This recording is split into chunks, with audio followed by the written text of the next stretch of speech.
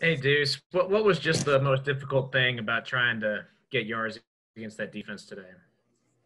I mean, all props to Iowa State. They have, they have a really good defense. They flew around all day, and I mean, they just make plays. I mean, uh, you got to break tackles and try to make plays. I mean, they're all over the place. They have their kind of like a three-five-three, so they have their three high safeties, they have a star safety, and I mean they're run fit and everything like that. I mean, I just got to execute better and uh, try to make plays.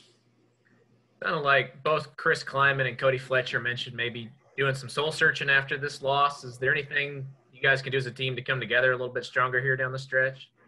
Just keep battling. I mean, we're going to get back to work on tomorrow with recovery and some stuff like that, and then we're going to get back on Monday and just really the leadership is what has been getting hit on. Uh, is we have to take control of our team.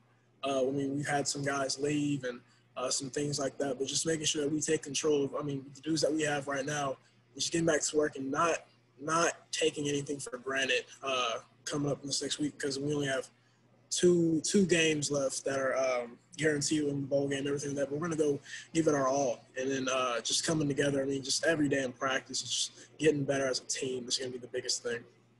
And last one for me, just just how deflating was it today, and has it been recently to keep getting turned away on some of those goal line opportunities?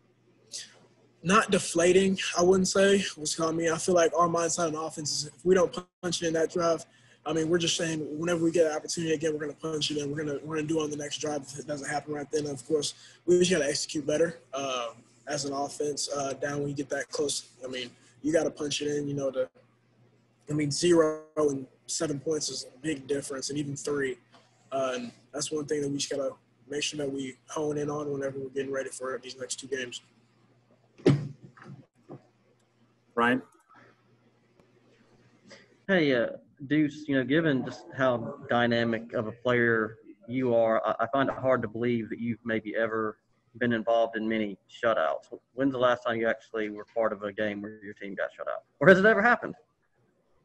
I believe my freshman year, uh, yeah, my freshman year of high school, we were playing and we got shut out. I forget, I think we were playing – Round Rock High School. I don't remember exactly the team, but my freshman year of high school, we got shut out. Uh, that's the game that I can remember. And then when Nick came in, you know, we've usually only seen him come in, and a lot of times when the games are already kind of won for you guys, and he hands the ball off a lot. So with him getting more extended playing time, what's the biggest difference for you in terms of what, like how you have to play with him as opposed to when Will's in there? Because obviously they have their own preferences of how they go about calling plays and things like that?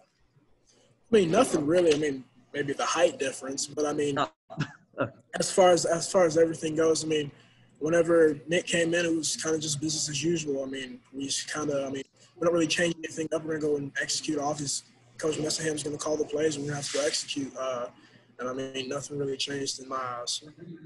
And, and the last thing for me, Deuce, I guess were, were you a little bit surprised how how the offense bogged down given that, that on the first two plays, you know, Sebastian picked up like 29 yards, and the play later you picked up eight. Did it? Did it kind of feel like, well, hey, you know, maybe we've got something on track today? Well, I mean, at the beginning, I felt like we had an amazing first drive. Of course, we didn't punch it in, but I feel like that kind of we thought was going to set the tone for the rest of the game. And I mean, it didn't really uh, boil down to that, but just we can't get frustrated or get uh, tied up and I mean, we just went thir- three and out. It's always the next play, next play, next play.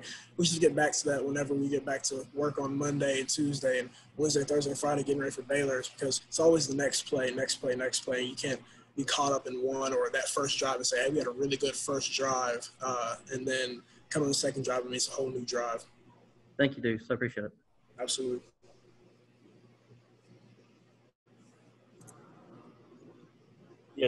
Deuce, one thing Coach had mentioned was uh, the, the accountability issues. He said needing to hold you guys accountable or each other accountable, both on the field and off the field. I guess, do you, how long have some of those issues been there with this team? I mean, really, I mean, the coach has been tugging and tugging and tugging at us to take leadership in our own team and take command of our team. Really, he, they always tell us this is our team, and I feel like we have to do a better job as players. I mean, whether you're a freshman, redshirt freshman, a fifth year senior, I mean – you have to you have to hold your team accountable because I mean, I mean days like this, I mean, all I want to do is get back to work. And as, as your leader, I need to be better as well. And I, I know that. And that's exactly what I'm going to work on whenever we get back to it. I'm going to hold my teammates accountable. I know they're going to hold me accountable. And whenever we start get that clicking and everything, I feel like I feel like we'll be unstoppable. You feel like you already at this point in your career are one of those guys on the team that, that guys will look to in that regard? Yes, sir. Uh, and I just need to do a better job at taking command of that because I mean I have respect for every single guy on this team right now, and I hope they have the same respect for me. So whenever it comes down to it, if, if everybody has respect for each other, you don't really need one leader at the top or five. I mean you can have an entire team of leaders because everybody respects each other as a football player and as a teammate, and that's just the biggest thing for me. Appreciate it, Deuce. Thanks. Absolutely. Last one here, Michael. As a freshman, do you have that confidence to be a vocal leader in the locker room and on the field? Um, yes, sir. It's starting to get there. It's starting to come along as as we get going. Everything, of course, COVID and everything has kind of hindered being able to have a relationship with every single guy on the team because of, I mean, just close contact and everything and everything like that. But I mean, just as I respect every single guy on this team, and I mean, like I said, I need to be better at being a vocal leader because I feel like I can be able to step into that role as far as uh, everything goes. But yes, yes, sir, I do.